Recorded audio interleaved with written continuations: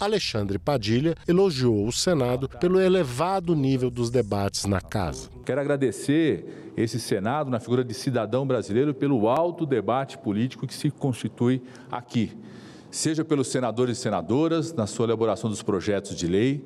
nos estudos das matérias, mas também pelo corpo técnico do Senado Federal Brasileiro, pelos trabalhadores, que são exemplo de instituição no nosso país, de elaboração das políticas públicas, de avaliação das políticas públicas e de aprimoramento no Estado brasileiro. O ministro também destacou a posição firme do Senado Federal em defesa da vida durante a pandemia. E eu também, como cidadão, preciso fazer um agradecimento profundo ao papel do Senado brasileiro durante a pandemia. Aqui faço na condição de médico infectologista, especialista em cuidar das doenças infecciosas, professor universitário, senador Nelson Trade,